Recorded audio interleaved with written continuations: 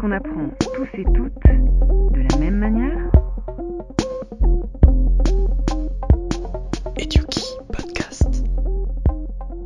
Aujourd'hui, on est aux côtés de Gaël Mingui pour un nouvel épisode d'Eduki Podcast, spécial neurosciences. Bonjour Gaël Mingui. Bonjour. Un tout grand merci d'être avec nous malgré le confinement. Mais c'est un plaisir. Merci à vous de m'avoir euh, invité. Pour nous accompagner dans cette découverte, on a la chance de pouvoir compter sur Pline. Merci à toi. Et bonjour, merci, ça me fait plaisir d'être avec vous deux pour ce podcast. Gaël Mingui, vous avez fait de la recherche en neurosciences pendant des années et vous l'enseignez aujourd'hui au sein d'un master en sciences de l'apprentissage. C'est à ce titre qu'on vous a invité aujourd'hui dans notre émission autour justement de l'apprentissage. On rentre tout de suite dans le vif du sujet. Pline, à toi l'honneur. Et merci, et du coup pour cette première question, on voudrait remonter aux sources. Alors, d'un point de vue biologique, à quoi ça sert l'apprentissage? Merci. Alors ça, c'est ça, c'est une question complètement fascinante. Il y a plusieurs euh, manières de concevoir l'apprentissage. Je pense qu'on a tous euh, en tête, quand on a ce mot, peut-être des bancs d'école, euh, un cerveau qui travaille, des lectures studieuses, ou au contraire un travail difficile sur un vélo. Il y, a, il y a plein de choses qui sont liées forcément à notre pratique et qui sont liées au système nerveux et à notre cerveau. C'est normal, c'est c'est comme ça qu'on le vit, donc c'est comme ça qu'on l'imagine. Mais si on prend un peu de recul sur ce que c'est que l'apprentissage, donc pour ça je vais prendre une définition euh, standard hein, dans, les dictionnaires et les encyclopédies, c'est l'acquisition de connaissances ou de compétences par l'étude, l'expérience ou l'enseignement. Donc on peut, on peut débattre de cette définition, mais elle a l'intérêt de fixer euh, quelques notions. Et en fait, euh, ce, qui, ce que je trouve intéressant dans, ces, dans ce type de définition, c'est que si on prend l'acquisition de compétences par l'expérience, qui est un sous-ensemble de, de cet apprentissage, à ce moment-là, on voit que ça, c'est très général. L'acquisition de compétences par euh, l'expérience, c'est ni plus ni moins que la mécanique la plus importante de l'évolution. En fait, la vie elle-même est d'une certaine façon un processus qui apprend avec cette définition. La différence entre un rocher et un organisme, c'est que le rocher n'apprend pas et l'organisme apprend. On pourrait le mettre un peu comme ça. Pourquoi? Alors ça nous emmènerait un peu loin, mais pour essayer d'être un peu, un peu précis, la vie, c'est une façon d'organiser l'information, des liens entre l'information et la matière et l'énergie. Et l'information, c'est la dimension qui va évoluer au cours du vivant. Et si on veut être très pratique, quand une petite mésange euh, apprend à chanter, par exemple, on utilise bien le terme d'apprentissage, elle va euh, soit euh, imiter ses parents, en l'occurrence, elle va probablement le faire spontanément parce que ce sont ses gènes qui ont appris, c'est-à-dire qu'il y a une acquisition qui s'est faite et qui s'est transmise. Donc on voit que dans un processus d'apprentissage, si par exemple vous avez un organisme qui a eu peur de son prédateur et qui l'a intégré, il va avoir tout intérêt à garder ça en mémoire pour pas retomber sur son prédateur. Si au contraire une bactérie, puisque ça a été montré il y a une dizaine d'années, a, trouvé un moyen de pouvoir manger un sucre après l'autre, euh, il va garder cette méthode euh, pour pouvoir manger ce sucre après l'autre. Et si un, biologiste facétieux inverse le sens des sucres, eh ben la bactérie va continuer à faire euh, comme elle avait prévu avant de se rendre compte qu'elle se trompe et d'inverser la séquence. Donc, dans des organismes aussi étonnants que les bactéries, euh, les, blobs, que certains connaissent peut-être, euh, les plantes, euh, les champignons, tout un tas d'organismes qui n'ont pas de cerveau, on observe des comportements d'apprentissage parce que c'est très très universel d'avoir à sentir son environnement, l'acquérir donner un sens, est-ce que est-ce que c'est un danger, est-ce que c'est une opportunité, est-ce qu'il faut que je puisse m'en souvenir, et puis le passer éventuellement alors à ses descendants, aux autres individus qui sont dans la même population. Euh, donc il peut y avoir une transmission culturelle, y compris dans des organismes qui ne sont pas du tout euh, humains, euh, ou une transmission héréditaire qui peut être biologique, et, et, dans la biologie, ça peut être aussi génétique. Donc il y a, il y a tout un tas de transmissions différentes, mais ce grand mécanique, cette grande mécanique qui est l'acquisition de connaissances ou de compétences par l'expérience et éventuellement sa transmission, ça, c'est le fondement même de tous les processus évolutifs. Donc, je ne pense pas que ce soit un abus de langage de dire que l'apprentissage, c'est la vie.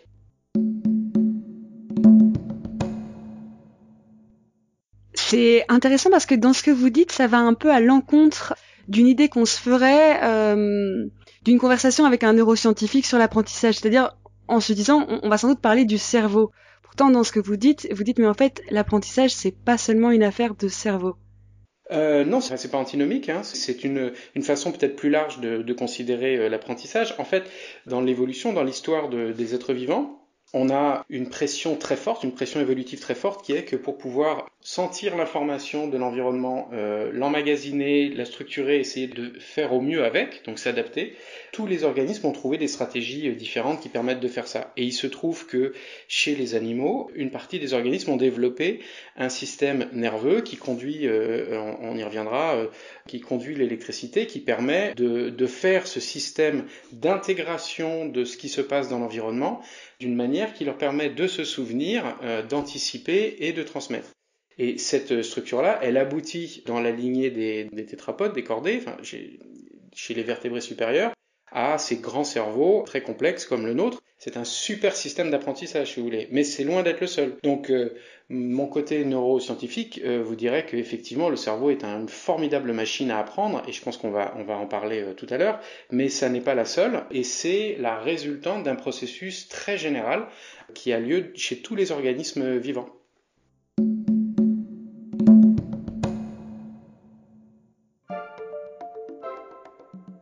Mais du coup, est-ce que vous pourriez nous dire un petit peu, d'un point de vue du cerveau, comment est-ce que ça fonctionne l'apprentissage? Alors, c'est quelque chose d'assez compliqué le cerveau, hein. c'est l'objet biologique le plus complexe qu'on connaisse. Je vais vous décrire des, choses qu'on a montrées par l'expérience depuis, euh, depuis un siècle. Il y a quand même beaucoup beaucoup de gens, beaucoup de chercheurs qui ont travaillé à plein de niveaux différents sur ce sujet. Euh, et donc on a euh, quelques grands schémas directeurs pour pouvoir concevoir l'apprentissage. En gros, ce qu'on appelle la théorie neuronale, c'est le fait que dans notre cerveau, il y a plusieurs types de cellules, mais il y a des cellules particulières qui conduisent l'électricité, qu'on appelle les neurones, qui sont connectés les uns aux autres c'est quelque chose d'absolument euh, fascinant. Hein. On estime, personne ne les a comptés, hein, ce serait une tâche absolument considérable. On estime qu'il y a à peu près 100 euh, milliards de neurones dans un, cerveau euh, humain et, chaque neurone est connecté avec d'autres neurones. On appelle cette connexion une synapse. Il y a entre 1000 à 10 000 synapses par neurone. Donc je vous laisse faire le calcul. on arrive très très vite à une complexité d'un degré absolument pharaonique. Alors, le principe de l'apprentissage tel qu'on l'imagine, après on peut venir sur les expériences qui permettent d'établir euh, cette, théorie, mais qui est assez robuste, c'est le fait que euh, si vous faites par exemple une expérience euh, physique, vous allez vous brûler euh, avec une poêle, votre système nerveux va conduire cette information, hein, parce que les neurones sont reliés les uns aux autres, et donc transmettre une information qui est un signal électrique qui passe d'un neurone à l'autre. Cette information va être communiquée au cerveau, qui va retenir que l'expérience était vraiment pas plaisante, et qui donc il ne faut plus la refaire, et donc ce processus-là d'engrammation, de, de structuration d'un réseau de neurones qui va être attentif, qui va capturer cette expérience, si vous voulez, qui donc va en assurer une, forme de mémoire contextuelle, c'est-à-dire que quand vous êtes dans une cuisine à proximité de quelque chose qui est bleu et jaune, il faut pas mettre le doigt dessus euh, parce que sinon ça brûle. Toutes ces sensations, ces émotions qui vont vous empêcher ou qui vont prévenir euh, la douleur la prochaine fois, c'est quelque chose qui aura été intégré dans le cerveau structurellement, c'est-à-dire que les synapses vont euh, changer, les neurones vont se connecter différemment et vous avez une forme d'un réseau de neurones qui n'est pas le même au début qu'à la fin. Votre expérience a changé la forme de votre réseau de neurones et c'est cette forme qui constitue le souvenir de ce moment passé et qui va vous aider à anticiper, à prévenir et à éviter de le refaire une deuxième fois. Donc ça c'est une illustration euh, évidemment très grossière d'un cas négatif mais vous auriez exactement la même chose dans un cas positif. Vous avez euh, une partie du système nerveux qui a comme mission d'identifier de, euh, les choses qui vous procurent du plaisir. Et c'est aussi bien vous avez le frein pour les conduites à risque que vous avez l'accélérateur pour les, choses ou les événements qui vous procurent du plaisir. Et vous pourriez faire exactement le même raisonnement. C'est d'ailleurs euh, la base fondamentale du système neurologique de l'addiction, à savoir que vous avez un, un circuit, le circuit du plaisir qui est tellement bien organisé et robuste que si vous avez une molécule qui va l'activer de façon euh, non attendue, eh ben vous allez provoquer une addiction pour cette substance. Donc là encore, c'est très grossier, mais c'est pour dire que le cerveau est, considéré comme une sorte de machine à emmagasiner des informations qui viennent de l'extérieur ou de l'intérieur, à les structurer ensemble de manière à en tirer des informations sur ce qui peut être fait avant ou après. Ça, c'est engrammé sous forme de mémoire qui va ressortir à un moment donné parce que ça a été appelé par le contexte. Donc euh, si vous êtes un, étudiant euh, sur votre banc d'école et qu'on on vous demande des calculs, vous avez appris ces calculs, le contexte c'est on vous demande de le ressortir, vous allez chercher euh, les calculs qui ont été demandés et vous allez les reproduire. Mais si vous allez apprendre à faire du vélo, ce ne sera pas verbal, vous ne pourrez pas le verbaliser, mais c'est bien le même type de mécanique sous-jacente, à savoir vous avez un réseau de neurones sous-jacent qui a gardé en mémoire comment on fait du vélo et quand il est mobilisé, il va pouvoir euh, s'exprimer. Donc, euh, in fine, l'apprentissage, la, mémorisation, c'est la capacité à changer la forme d'un réseau de neurones. J'aime beaucoup votre exemple parce qu'on dit souvent que le vélo, on l'oublie jamais. Pourtant, il y a des choses qu'on oublie. Alors, comment fonctionne ce processus d'oubli? Je ne saurais pas euh, vous répondre, je ne sais pas du tout comment fonctionne l'oubli, mais effectivement, ce qui est, euh, ce qui est très frappant, c'est de voir que différentes voies neuronales, différents systèmes neuronaux n'ont pas du tout la même capacité de mémorisation et de rétention. Des systèmes euh, entre guillemets archaïques, c'est-à-dire très robustes, et je pense en particulier à l'olfaction, la capacité à sentir. Euh, la Madeleine de Proust, au-delà du formidable talent de Marcel Proust, cette scène représente un événement biologique euh, absolument incroyable qu'on a tous vécu. Une odeur, on peut l'avoir sentie une fois dans notre plus tendre enfance et s'en souvenir des décennies après avec une cristallisation très claire du moment dans lequel on était, il y a tout qui revient.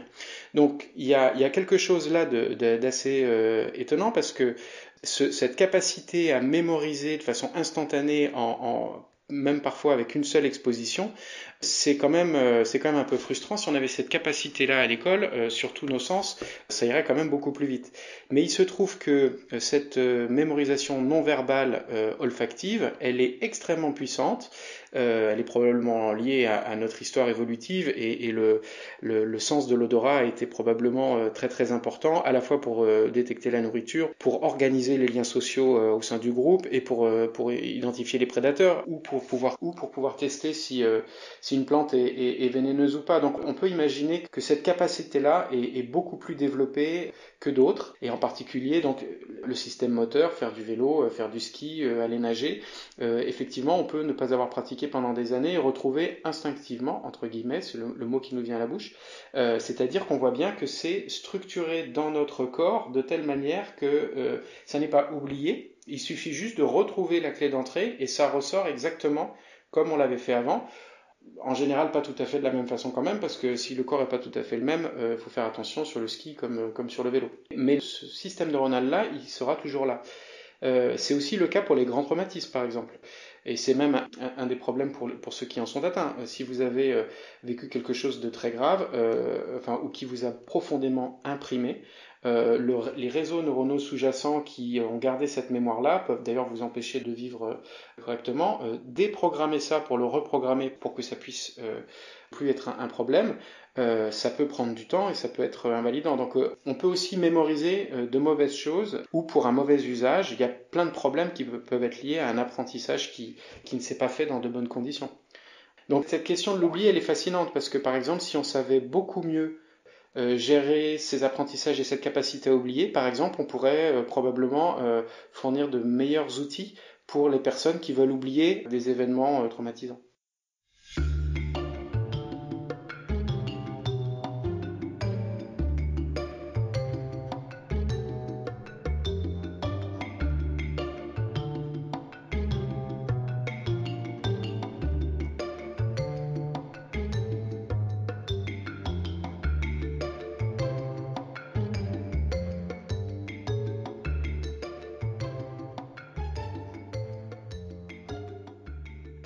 Continuer, revenons sur quelques points importants. Alors, Gaël Mingui, en tant que neurobiologiste, définit l'apprentissage comme l'acquisition de connaissances ou de compétences par l'étude, l'expérience ou l'enseignement. Et cette mécanique d'acquisition de compétences par l'expérience, c'est vraiment la mécanique au cœur de l'évolution. En effet, tous les êtres vivants apprennent et c'est obligatoire puisque c'est le processus qui permet à la vie de continuer son cours. Et donc pour apprendre, ben, pas besoin de cerveau, puisque des organismes sans cerveau, comme les bactéries ou les champignons, apprennent aussi, c'est-à-dire qu'ils s'adaptent et transmettent leur savoir. Cette transmission peut être soit culturelle, soit héréditaire. On pourra quand même pas éviter le sujet, donc d'où vient le cerveau? Eh bien, il se forme en réponse à une pression évolutive très forte qui veut que pour s'adapter au mieux, il faut pouvoir sentir son environnement, emmagasiner les informations qui sont utiles dans cet environnement et les structurer. Alors pour pouvoir faire ça, les vertébrés supérieurs ont développé tout un système nerveux et de gros cerveaux très complexes, qui sont des sortes de super systèmes d'apprentissage qui peuvent se souvenir, anticiper, transmettre. Mais voilà, il ne s'agit que d'une des stratégies qui était possible et c'est loin d'être la seule. Alors l'apprentissage, comment ça marche? On va devoir parler de mémoire et de la théorie neuronale. Alors si on rafraîchit un peu nos cours de SVT, les neurones ce sont des cellules qui conduisent l'électricité. Ils sont connectés les uns aux autres en réseau et communiquent par des points de contact qui sont appelés les synapses. Pour réaliser la mémoire, on dit que les neurones engramment, c'est-à-dire qu'ils modifient leur connexion synaptique, en somme que la forme de leur structure change et se connecte différemment. Le phénomène qui permet cette engrammation, c'est la plasticité synaptique ou plasticité cérébrale, c'est-à-dire la capacité de la synapse à se déformer, à être plus ou moins active, à changer, etc. Mais en tout cas, le cerveau, c'est pas comme on le dit parfois, un super ordinateur. Ben non, c'est beaucoup, beaucoup plus flexible que ça. Alors beaucoup plus flexible, oui, mais avec des variations. Tous les systèmes neuronaux n'ont pas la même capacité de mémorisation et de rétention on est surpris de constater que des systèmes archaïques comme l'olfaction par exemple, donc c'est la mémoire de l'odorat, ont une force très importante de rétention. Il suffit d'avoir senti une odeur une fois pour que dans un tout autre contexte, des années et des années plus tard, on soit capable de s'en souvenir, de l'identifier, etc. Et il en va de même pour le système moteur. Notre mémoire motrice est très bien sauvegardée. Euh, d'ailleurs, d'où le dicton le vélo, ça s'oublie pas. Ben, c'est vrai, en fait, on a peut-être tous fait déjà cette expérience. Suffit de remonter sur un vélo pour que notre corps se rappelle comment on pédale.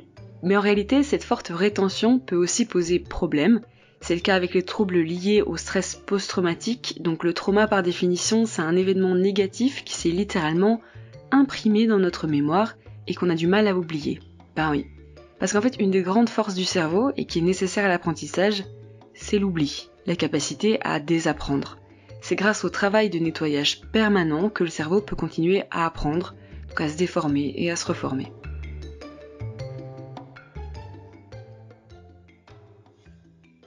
Ok, on va faire un point sur la méthodologie maintenant. Alors moi, quand j'imagine un neuroscientifique, je vois une blouse blanche, des scans de cerveau avec des zones coloriées, et une fois sur deux, le cerveau en question n'est pas celui d'un humain, mais celui d'une souris. Bon, je me rends compte que tout ça, c'est peut-être un peu réducteur. Qu'en est-il vraiment du travail de recherche en neurosciences En pratique, que fait un neuroscientifique dans ses journées?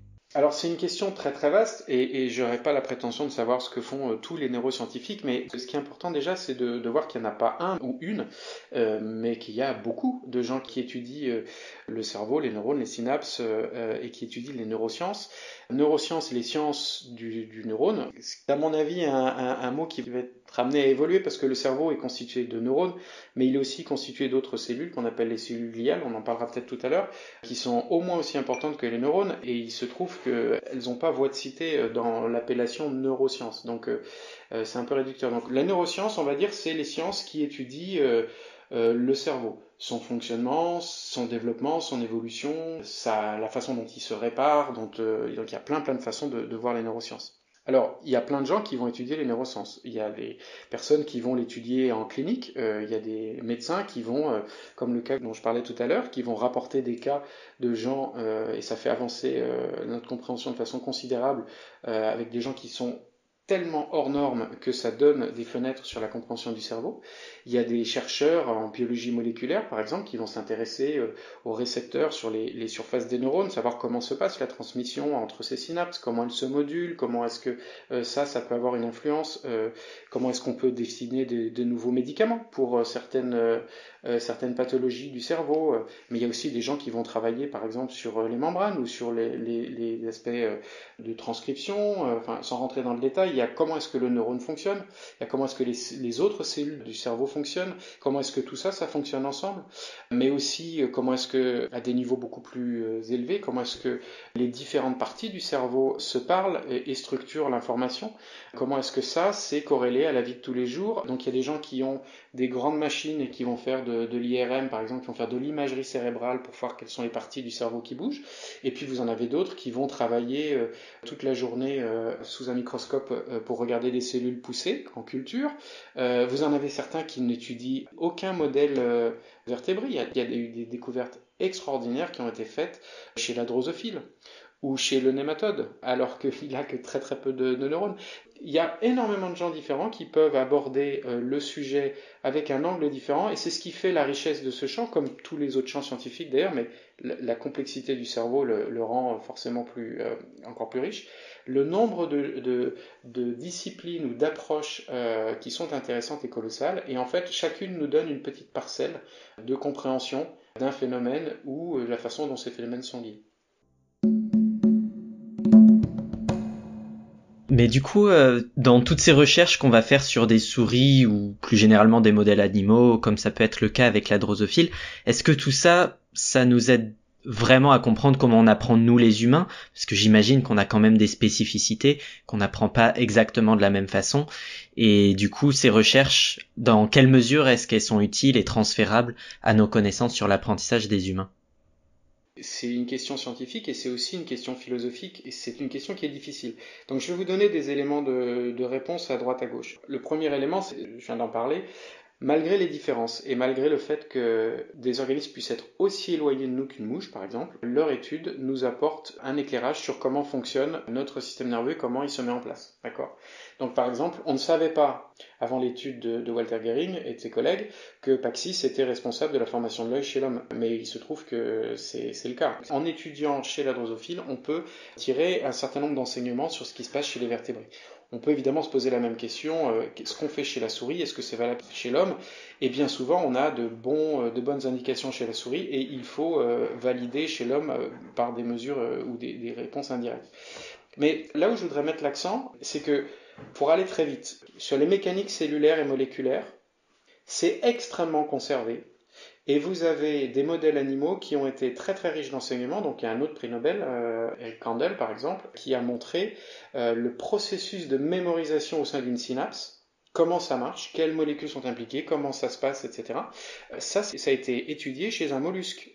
L'aplysie, qui est une forme de, je ne sais pas si vous connaissez, c'est une sorte de limace de mer parce qu'elle a des très gros neurones et que c'était beaucoup plus facile à étudier. il se trouve que toute la mécanique qui a été étudiée chez la plésie, on la retrouve dans un des centres neuronaux qui a été aussi très très bien étudié chez les vertébrés, qu'on appelle l'hippocampe, qui est un endroit qui est très important pour euh, l'apprentissage. Donc on a bien une correspondance là dans des organismes qui sont très très différents, et donc l'analyse de l'un est importante pour l'autre. Ce qui est plus compliqué, c'est la partie supérieure, je dirais la partie euh, commission, qui est euh, au-delà des mécaniques cellulaires et moléculaires, euh, comment fonctionne l'organe, comment se, passe la communication entre les différentes parties du cerveau. Si, on voulait prendre un, autre exemple, les émotions, par exemple, c'est quand même un tout petit peu plus difficile d'aller étudier les émotions chez la drosophile. Là, on est sur des fonctions, des, processus qui sont beaucoup plus à l'interface avec, euh, avec les sciences de l'éducation, avec la science sociale, avec euh, la psychologie, euh, avec tout un tas d'autres dimensions, pour rentrer dans des domaines qui sont toujours plus humains et donc toujours moins transférables ou toujours plus difficiles à transférer à d'autres animaux. Juste pour compléter, ça, ne veut pas dire qu'on n'a pas de très bons euh, exemples de transmission culturelle chez les animaux, d'apparition de la conscience, de la capacité à compter.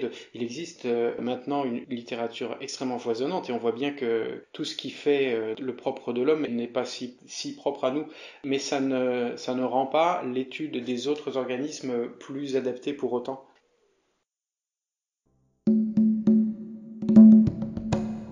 Gaël, on parlait à l'instant des modèles animaux qui nous permettent de mieux comprendre comment les humains apprennent.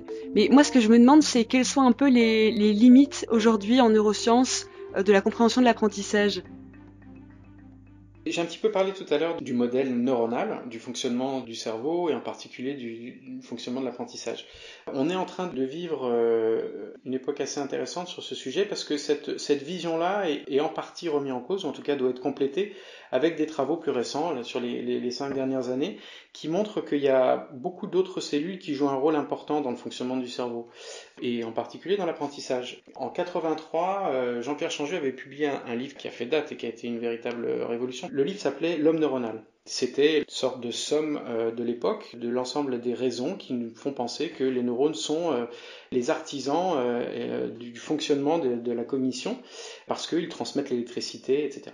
Et puis, euh, il y a deux ans, euh, il y a un autre euh, livre qui est sorti et, qui est un clin d'œil au livre de Jean-Pierre Changeux, qui s'appelle L'homme glial, qui est sorti en 2018. Alors l'homme glial, pourquoi? Parce que les glies, donc ça fait référence aux glies, les glies c'est des cellules qui composent le cerveau. Elles jouent un rôle central et de plus en plus étudié sur la formation de la synapse. Alors sur la migration des neurones, les capacités de, faire qu'un neurone va se connecter à un autre neurone, elles régulent la formation de la synapse, elles régulent sa dynamique. Quand une synapse va disparaître, les cellules gliales euh, jouent un rôle. Donc on a une perception du fonctionnement du cerveau qui est en train de changer. Ça ne veut pas dire qu'on jette au panier ce qu'on a appris sur le neurone, mais ça veut dire que, comme toujours en science, il faut rester euh, très humble et que ce qu'on a cru comprendre à un moment donné va être complété euh, par la suite et peut-être même repensé à la lumière euh, d'autres expériences.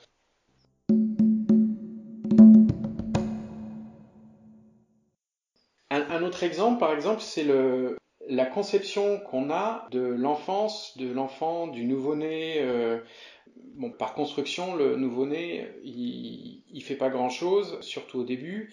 Il crie euh, un peu, euh, il mange un peu, et il excrète beaucoup, et c'est à peu près tout ce que les parents retiennent. Mais évidemment, on sait bien, enfin pour tous ceux qui ont des enfants, c'est bien que c'est pas juste ça, mais quand on regarde le soin qu'il y avait pour les enfants au 19e siècle, au début du 20e siècle, c'était des poupées euh, et on, estimait qu'ils allaient euh, développer des choses intéressantes qu'à partir d'un certain âge, 5 ans, 7 ans, ça dépend des civilisations. Mais enfin, fondamentalement, au début, l'enfant n'est pas intéressant parce qu'il n'est pas encore capable de. Donc cette projection qu'on a en tant qu'adulte sur les différentes étapes de la vie et les, différentes étapes de construction du cerveau, elles sont intéressantes parce qu'elles reflètent justement ce qu'on croit déceler, croit comprendre de cette mécanique. Maintenant qu'on étudie beaucoup mieux le cerveau des enfants et qu'on étudie beaucoup mieux les étapes d'apprentissage, on se rend compte à quel point, y compris euh, in utero, les, euh, les petits sont euh, une capacité à apprendre absolument remarquable. Et il y a des travaux tout à fait intéressants d'Alison Gopnik à l'université de Berkeley qui ont montré que les jeunes enfants avaient une capacité d'apprentissage et, un développement de l'apprentissage qui était tout à fait comparable à la façon dont fonctionnent les chercheurs. C'est ce qu'on appelle We are all born scientists, on est tous nés chercheurs. Ça veut dire quoi? euh, Qu'est-ce que c'est un chercheur? Un chercheur, c'est quelqu'un qui, dans son métier, va faire des observations, faire des hypothèses, faire des expériences pour tester ces hypothèses, analyser les données, éventuellement le publier pour que d'autres puissent euh, l'analyser et inviter les autres à reproduire l'expérience. Ben, c'est exactement ce que font euh, les petits-enfants et c'est comme ça qu'ils apprennent. Dans toute la partie non verbale, donc qui n'était pas considérée comme tel pendant, pendant des années, la façon qu'ils ont d'explorer leur environnement et de le déchiffrer pour apprendre fonctionne sur le principe de la méthode scientifique. Et si vous regardez un petit tout mettre à la bouche, euh, tester, voir, euh, d'une part ça, joue un rôle pour son système immunitaire bien sûr, mais ça, ça joue aussi un rôle pour l'habituation de son goût et ça lui permet de tester dans son environnement. Il essaye avec, ses, avec tous ses sens de faire sens et d'intégrer ça pour qu'il puisse ensuite catégoriser, anticiper et mieux évoluer dans son environnement. On est vraiment dans la mécanique pure de l'apprentissage. Un bébé, un jeune enfant apprend 24 heures sur 24 parce que le temps qu'il dort, il reprocesse les informations de la journée pour pouvoir mieux apprendre. Enfin, il ne fait que ça. Et donc en fait, c'est assez fascinant de voir que ce qui était considéré comme euh, une étape euh, un peu végétative, où en fait on fait de la croissance, euh, on grossit comme un légume, en fait c'est le moment où le, système nerveux est dans une phase de développement, d'expansion, d'analyse, de restructuration qui est la plus phénoménale. Donc ça c'est une conception qui a changé en partie parce que quand on s'est penché sur la question et qu'on a, commencé à regarder, ben on a vu que c'était pas du tout comme on, pensait. Mais ça, c'est c'est pas spécifique aux neurosciences et, aux bébés, c'est totalement universel. Euh, tous les objets euh, de connaissance sont mis dans une certaine catégorie avant qu'on ouvre vraiment la boîte et qu'on regarde ce qu'il y a dedans. Et c'est ça qui est fascinant dans cette grande aventure humaine, c'est que quand on commence à regarder, on, voit que les choses sont pas du tout comme on avait imaginé, et ça apporte des choses qui peuvent être utiles pour, pour la suite.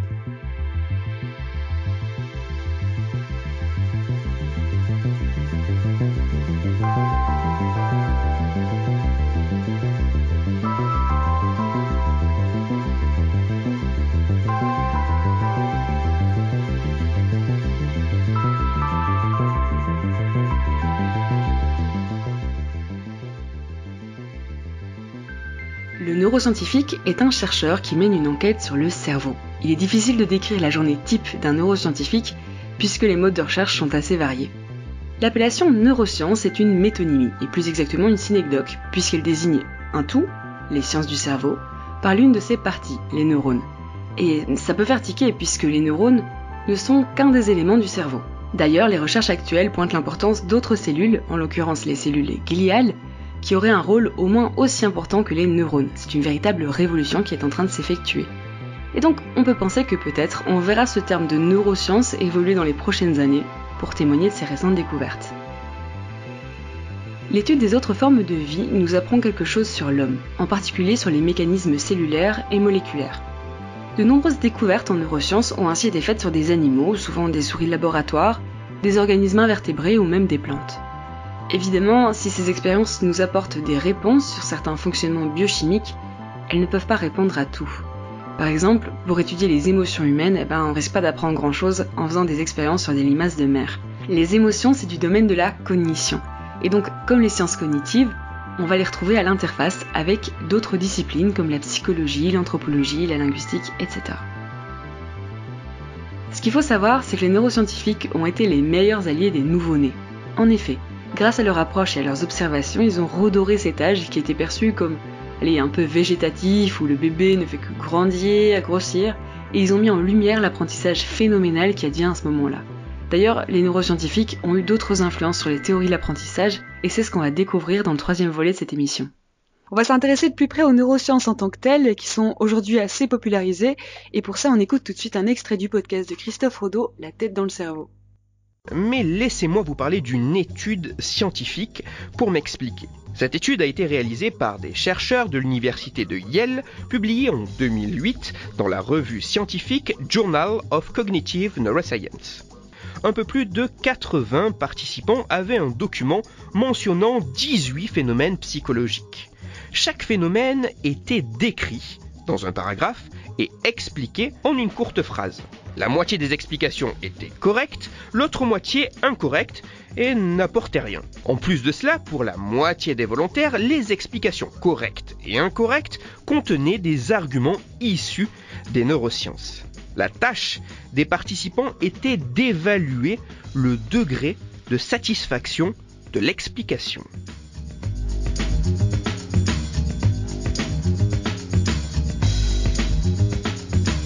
Les résultats de cette étude sont purement ahurissants.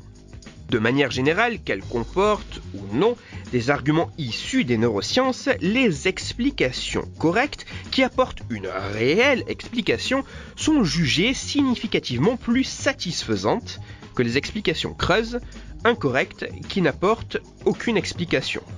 Pour l'instant, rien de très étonnant. Le meilleur arrive.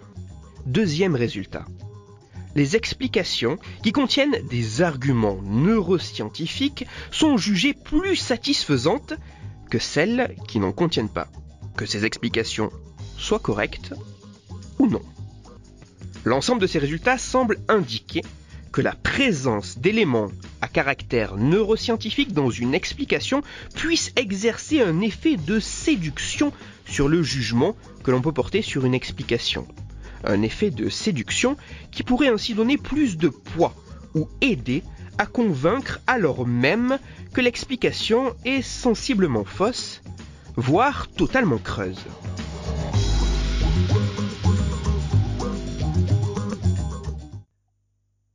On vient d'entendre un extrait du podcast La tête dans le cerveau, la, référence sera comme d'habitude en description de l'épisode.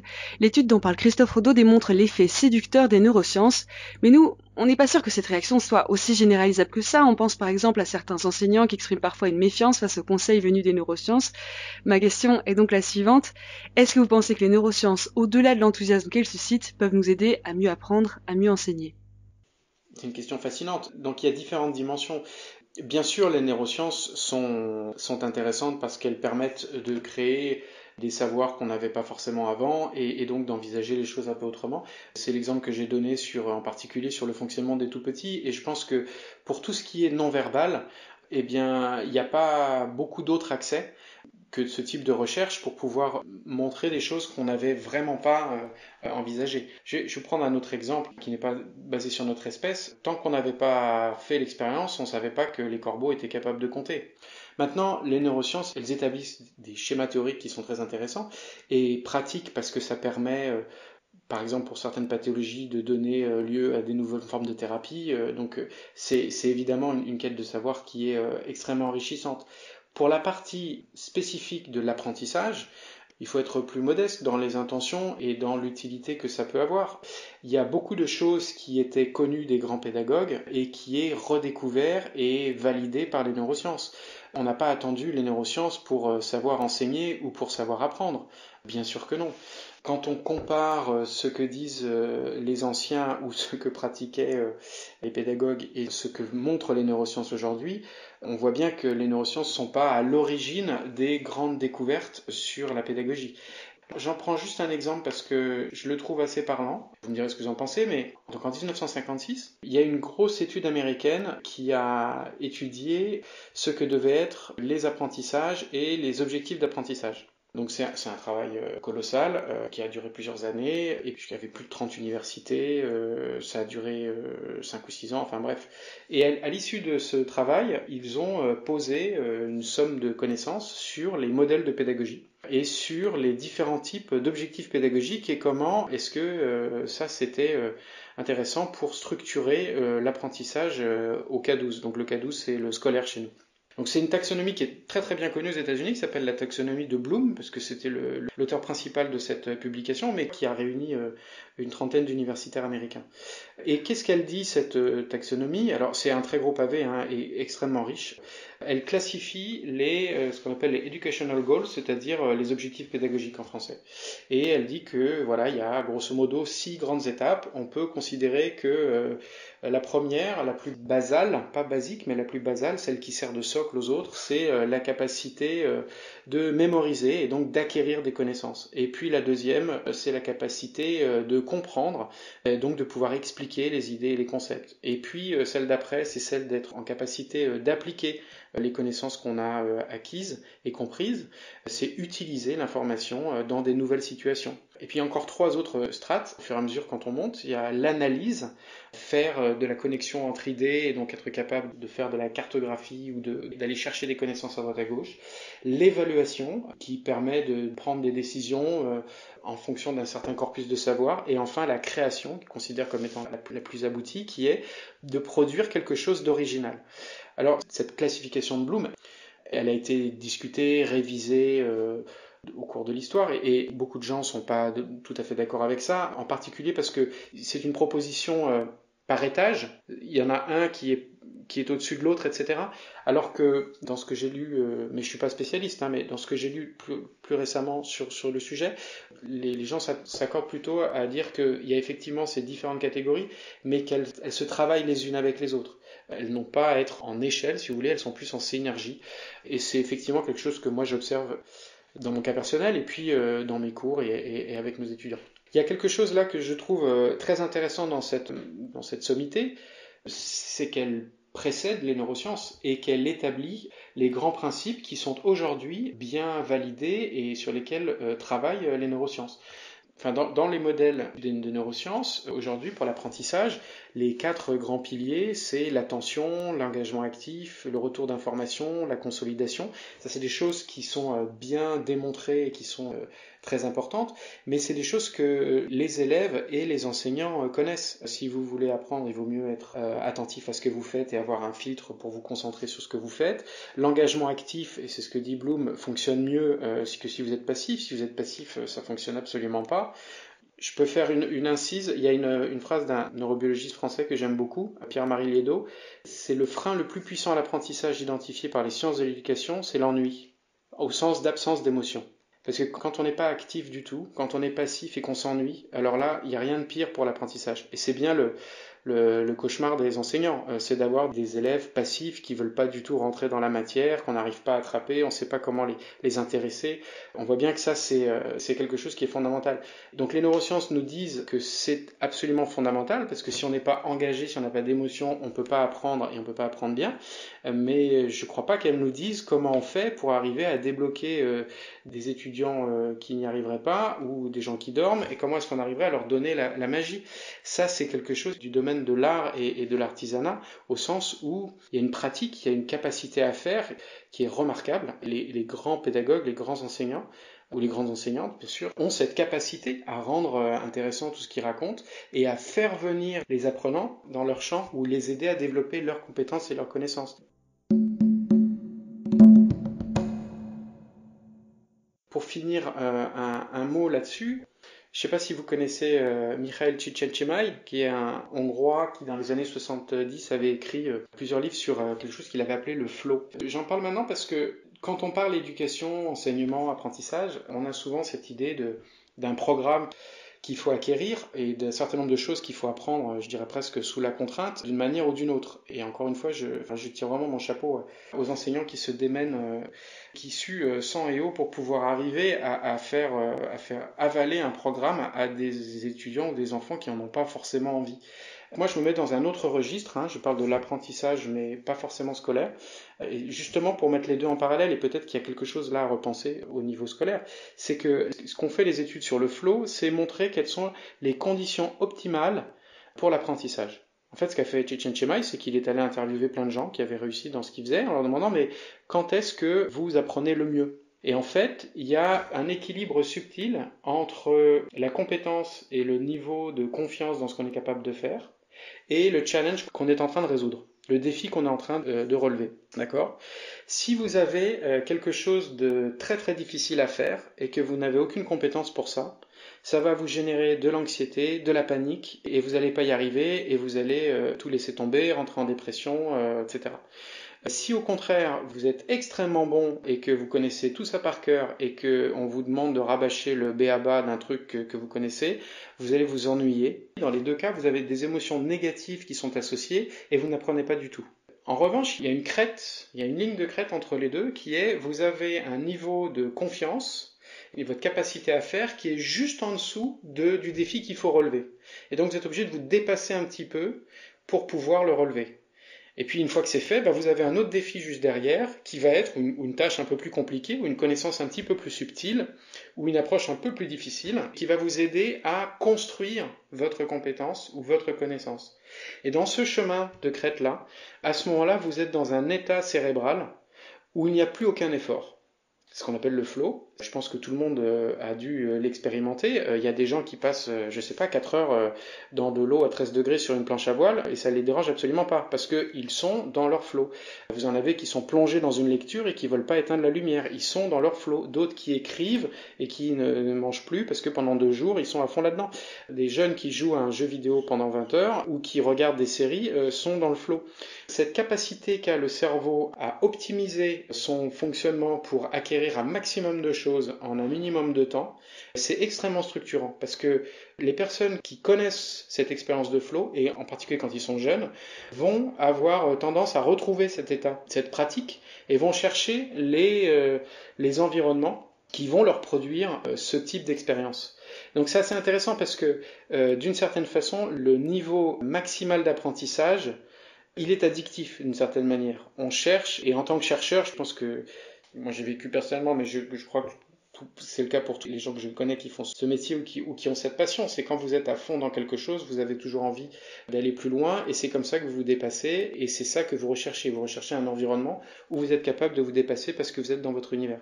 Et peut-être que si la finalité de l'école n'était pas d'emmagasiner des sommes phénoménales d'informations qui pour la plupart ne vont pas servir beaucoup pour la suite, mais elle était plutôt centrée sur comment est-ce que on permet à chacun de trouver une expérience de flow qui va lui donner envie d'apprendre, je pense qu'on aurait des résultats qui seraient très différents. C'est un apprentissage méta. Si vous êtes passionné par les papillons à 10 ans, peu importe ce que vous ferez après, euh, si vous avez passé des heures dans des livres à lire plein de choses compliquées sur les papillons parce que vous vouliez absolument tout savoir, euh, et eh ben cette expérience-là vous donne un type de relation à la connaissance et à la compétence qui est d'aller jusqu'au bout pour pouvoir acquérir et maîtriser. Et c'est ça qui est important.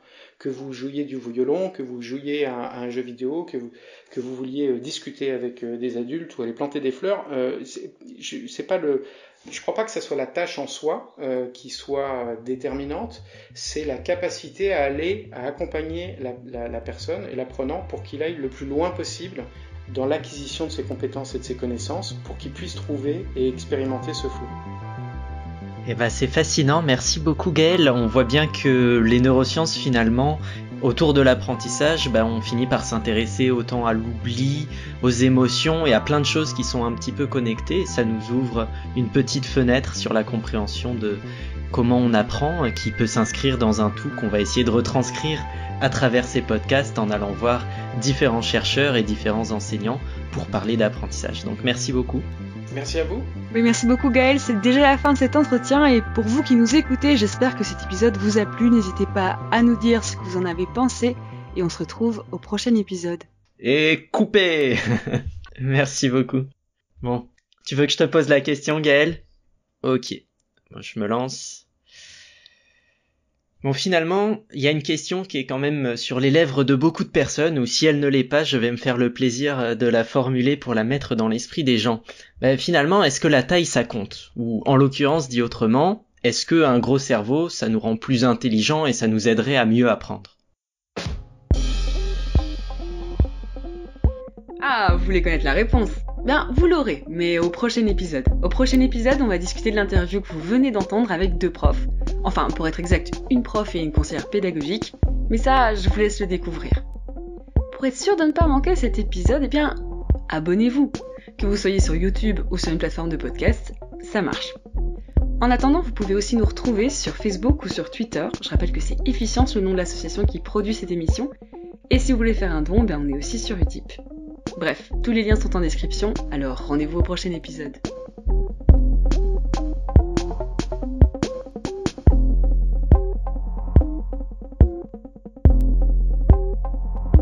Est-ce qu'on apprend tous et toutes de la même manière?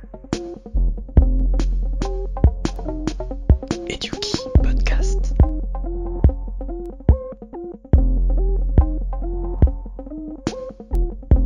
Un podcast par efficience.